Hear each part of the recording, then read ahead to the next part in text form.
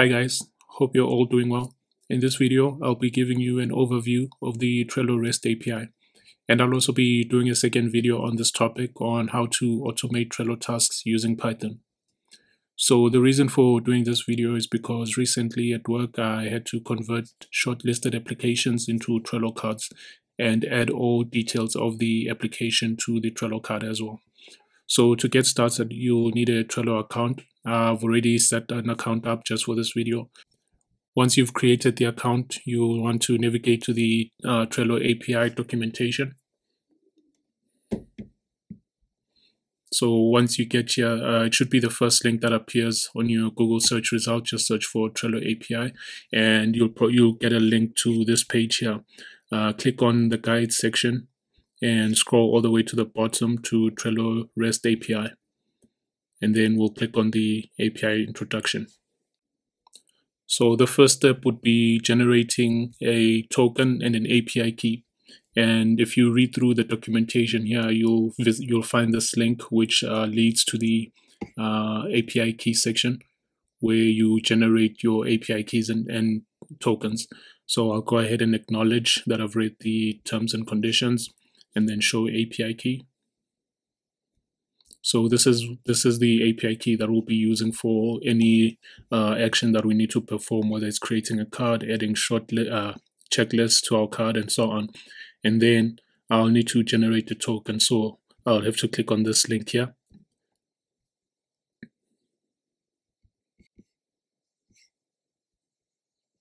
Then I'll go ahead and click allow. And this is my token. So I'll go ahead and copy that and paste it somewhere. Okay, now that's done. I'll also copy my API key. Okay, so now going back to the documentation here, if you go further down, you'll see uh, this section, which is uh, your first API call. So this part of the URL here, this will be our main uh, endpoint and any other details or data that we need to pass along for any action that we need to perform will just be appended to this endpoint here. So I'll just copy this section and paste that as well. So now that I have generated the token API key and we have the endpoint, I'll open up Postman and I'll create a new request. And this request will be creating a card. So this will be a post request. And I'll go ahead and paste in the main endpoint here. So now if I want to create a card, I'll have to go back to the documentation. And if I just click uh, on boards here, or rather click on REST API docs here, and then this should lead you to back to references where we started off at the very beginning. So now I need to create a card. I'll just click, click here, create new card. And these are the details that I need to append to my post request. So I'll say key. So I'll copy that and I copied my API key earlier on. And then I'll also need my token. I also copied that. I'll just paste that in as well. Okay. And then what's also required is the name. Well, these are not necessarily required, but I'll just go ahead and add the name and a description.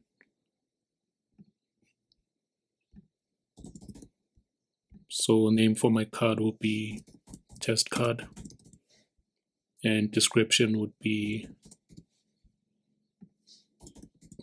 uh, test card description.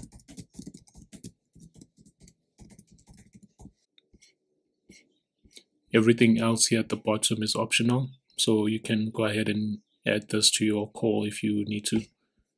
So now going back to my Trello board, as you can see, I don't have any uh, applications in my uh, list here.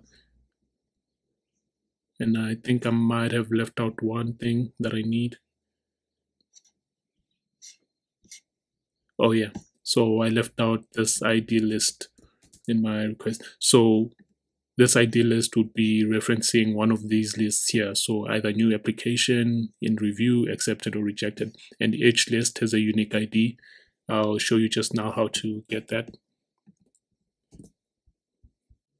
So to get the IDs of each list that's on my board, I'll just head back to the documentation and on the left hand side here, if I scroll all the way to the bottom, uh, there should be this section that says get list on a board. And then I'll need to make a call as well to get the uh, list IDs. So let me first copy this section of the endpoint.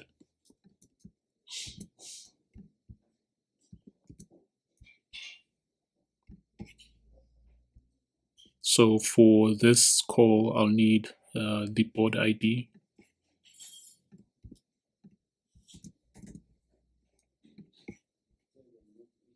I'll need the API key as well.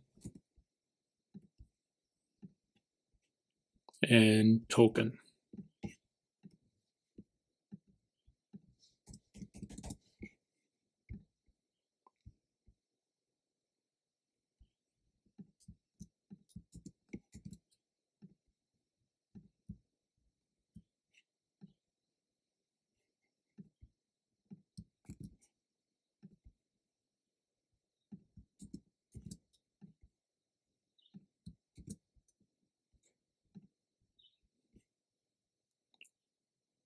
So I also don't have uh, my board ID. Uh, I'll need to get that as well. Uh, if I just go back to guides here and Trello REST API, back to introduction. Uh, this first link here, this will return my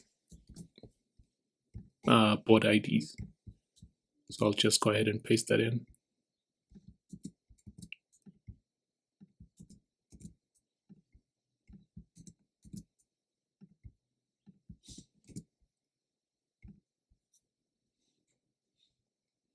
Okay, now the board ID that I'm looking for would be Trello REST API overview. So I'll just need to copy the ID, which will be this one here.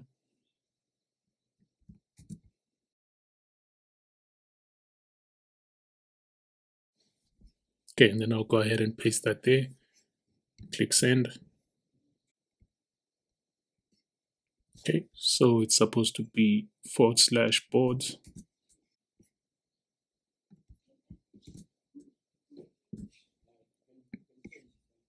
and then the board ID.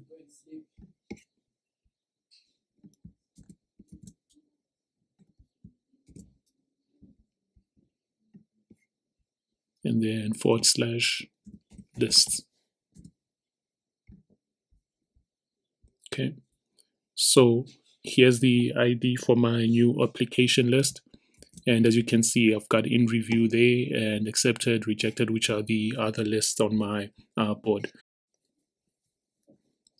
So if I go ahead and paste in the uh, ID, uh, let me put this side by side with my Chrome tab so that you can see the card being created.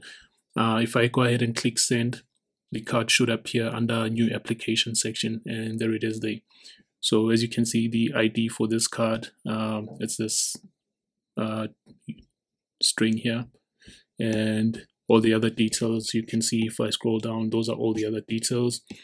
And if I go into the card the title or the name of the card is test, test card which was passed in the request same as the description.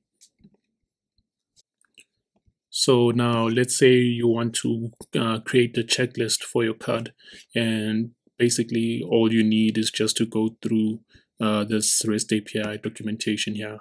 Uh, at the bottom or just underneath cards, you should have uh, this checklist section. You can just go ahead and click on create checklist.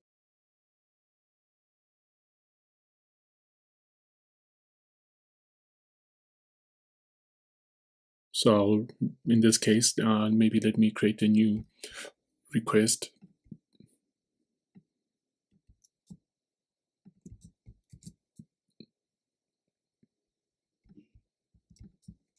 Okay, this will be a post request.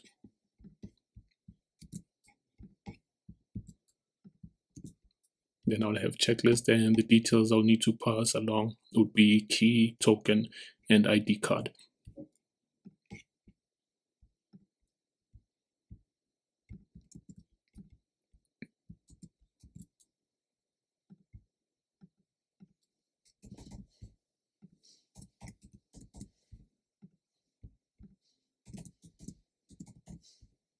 And the name of the checklist. So I'll go ahead and copy and paste all these values.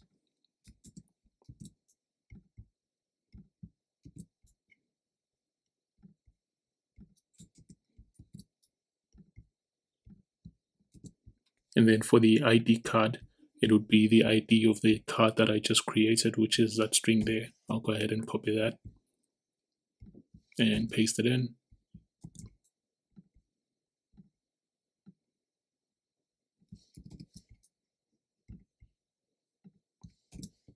And then the uh, name for my checklist will be application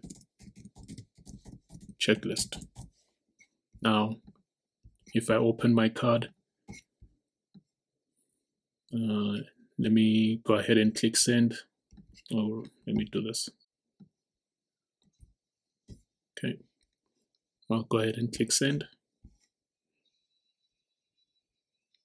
Oops, I think I created a new card, sorry.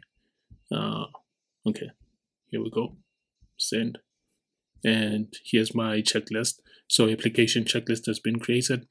So as you can see, basically all you need to do is uh, go through this documentation here and make sure that you have the correct uh, parameters passed along with your request. And with the checklist that you will need to add an item to your checklist for that, you'll go through this section here, which is, where is it, where is it? Under checklist, uh, create check item on checklist. So then that would be creating a checklist item, which would be one of these items here, and so on. And I think that's it for this video. In the next section, I'll be uh, automating all of this or going through how you can automate uh, this process using Python.